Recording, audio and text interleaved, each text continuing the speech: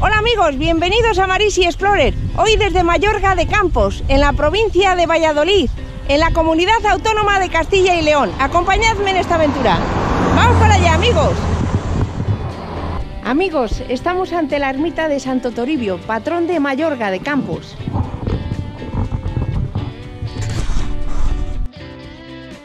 Se trata de una ermita de estilo neorrománico.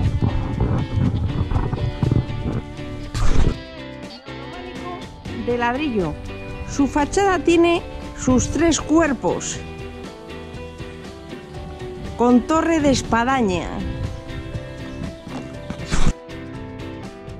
Por lo visto, en el interior de esta ermita se encuentra la reliquia de Santo Toribio. Santo Toribio Alfonso de Mogrovejo, patrón de este pueblo.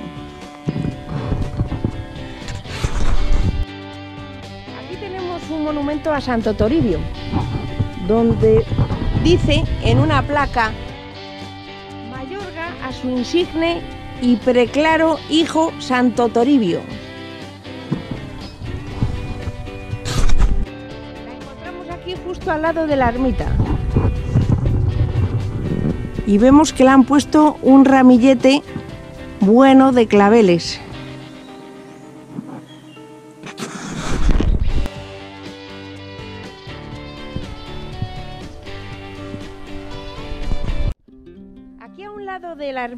De Santo Toribio nos encontramos una maqueta grande de forja, una maqueta de un castillo, que me imagino pues que emula al castillo que se supone que hubo algún día aquí en, en Mayorga de Campos.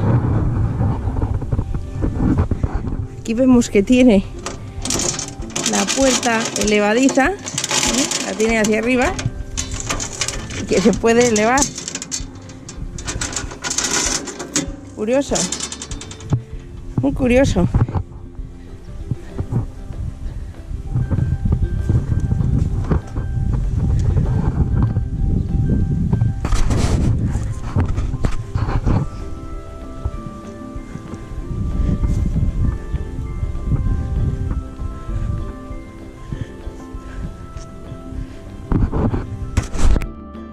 Aquí al pie de- del castillo de Forja vemos una placa eh, de, los eh, que indica que, está hecho por los alumnos de, de alguna institución educativa, pero está borrosa, con lo cual no, no podemos descifrar ni saber cuál es el motivo de esa maqueta, pero bueno, es una curiosidad más. Una curiosidad más. Seguimos amigos. Aquí en un muro que, hay justo al lado de la ermita de Santo Toribio, vemos un esquema, un dibujo de lo que es el Vítor. Y el Vítor es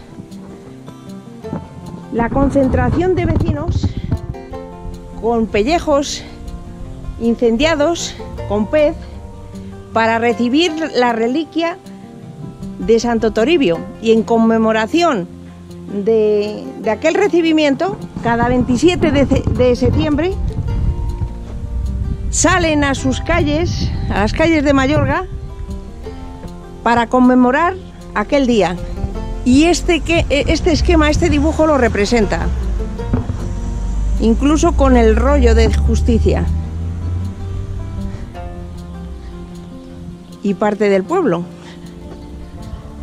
incluido un rebaño de ovejas que vemos aquí al final del, del esquema del dibujo.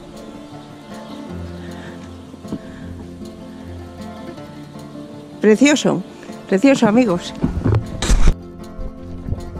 Amigos, estamos ante la iglesia de Santa María del Mercado o de Azogüe.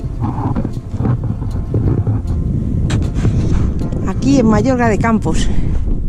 Se trata de un templo de estilo mudéjar de finales del siglo XV.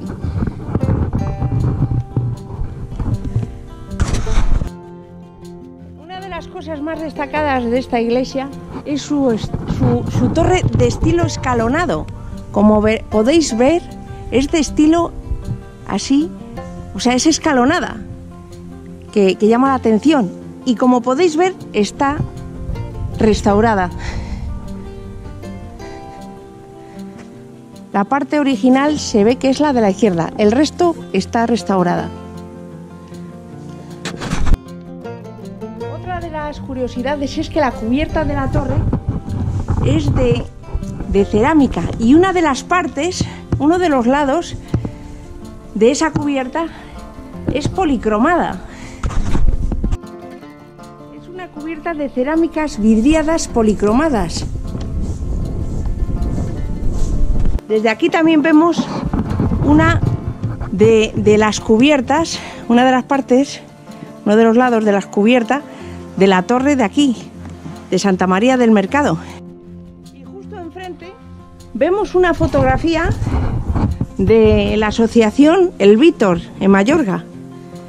En una de las ediciones en las cuales se ha celebrado el Víctor. Y ahí vemos a, a los vecinos de Mayorga con los pellejos encendidos para conmemorar el recibimiento, el recibimiento de la reliquia de Santo Toribio.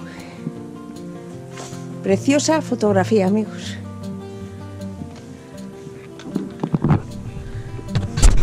Aquí tenemos una imagen de Santo Toribio.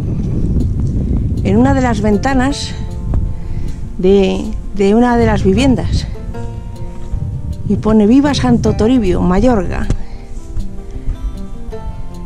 Y vemos que está bendiciendo a, a, una monjita, o al menos eso parece. Amigos, nos encontramos ante el buzón más antiguo de España, aquí en Mayorga de Campos.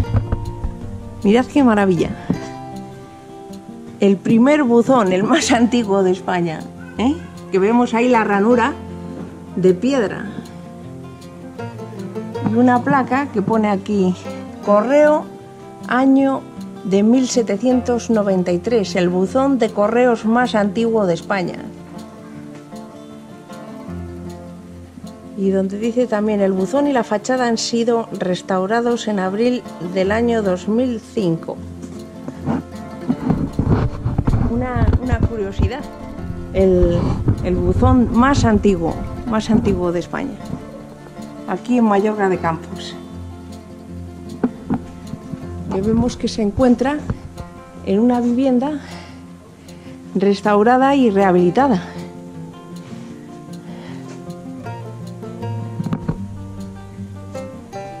Curioso, curioso.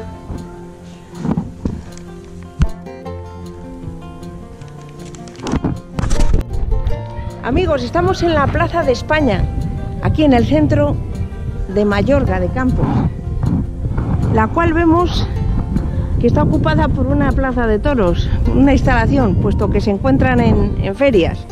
Y ahí vemos el ayuntamiento de Mallorca de Campos.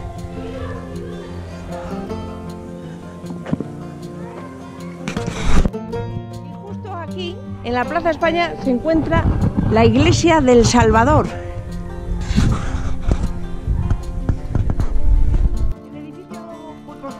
En el año 1971 y recibe el nombre de la iglesia que existía en el mismo lugar y de la que solo se conserva esta torre del siglo XVII.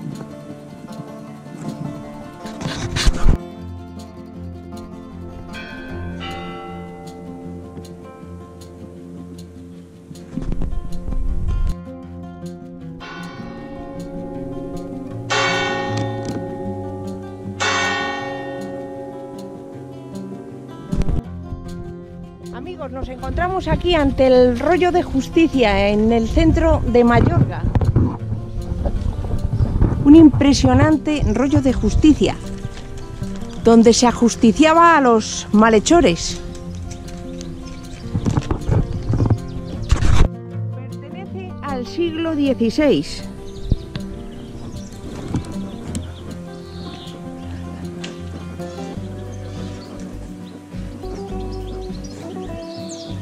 Y era un símbolo de justicia y jurisdicción civil de la época.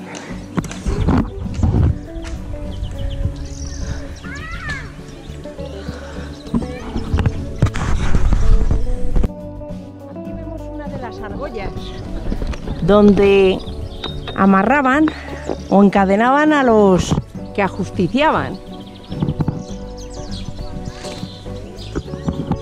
Aquí vemos otra y arriba vemos como una especie de gárgolas que son los salientes que en algunos casos también los- lo utilizaban para amarrar a los malhechores cuando les ajusticiaban.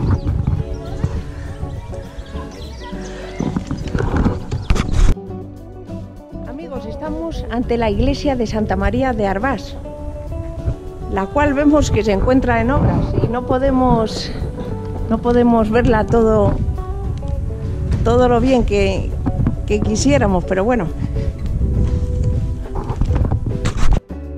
La iglesia de Santa María de Arbás, monumento catalogado como histórico artístico, es uno de los mejores exponentes del arte mudéjar en la zona de Tierra de Campos.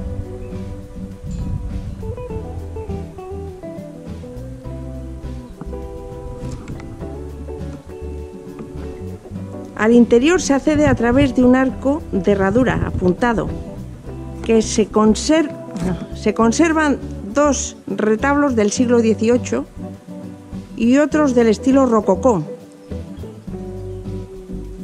y las esculturas de San Antón y San Roque. Su torre.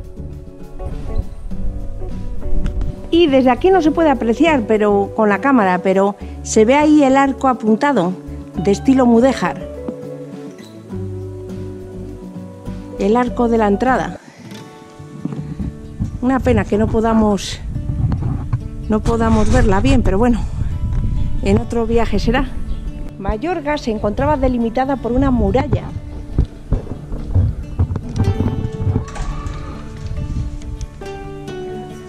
Hola. La muralla de Mayorga, por lo visto, es original del siglo XVIII.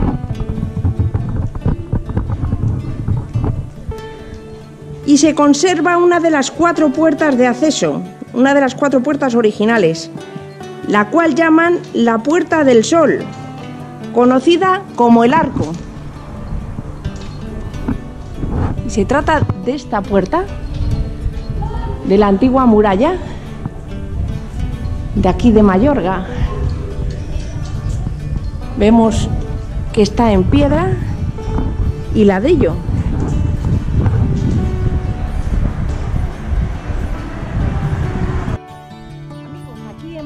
De Campos también se encuentra el Museo del Pan, que es único en España, o considerado único en España.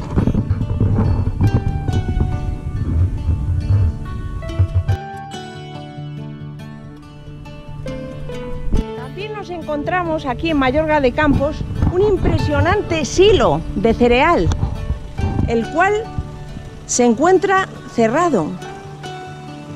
Le vemos que está cerrado y que lleva varios años ya cerrado. Pero este silo se le ve que ha sido uno de los más importantes de aquí, de, la zona.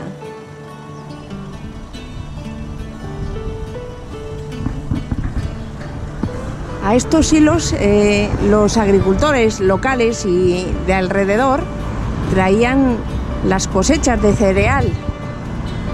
Amigos, y aquí nos despedimos en la aventura de hoy. Gracias por acompañarme. Nos vemos en los próximos vídeos. Hasta pronto, amigos.